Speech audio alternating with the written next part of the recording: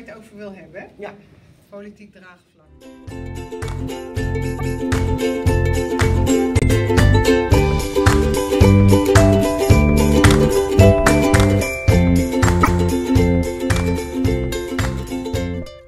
staat op de agenda, dus die eerste actie.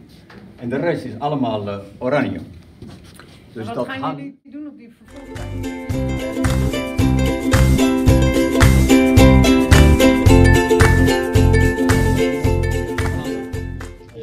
Wat, wat voor ons nu heel erg hoog op de agenda staat, is dat gesprek maandag met Stadgenoot en met BTL over eh, het opleiden van de jongens. eh, eh,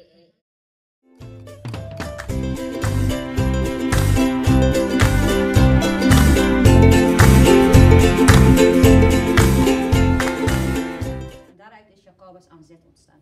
Dus dat is mijn trots, dat het echt een gebiedsgericht eh, item is. Echt vanuit het gebied, bottom-up. Fatima, wat heeft deze dag voor jou betekend?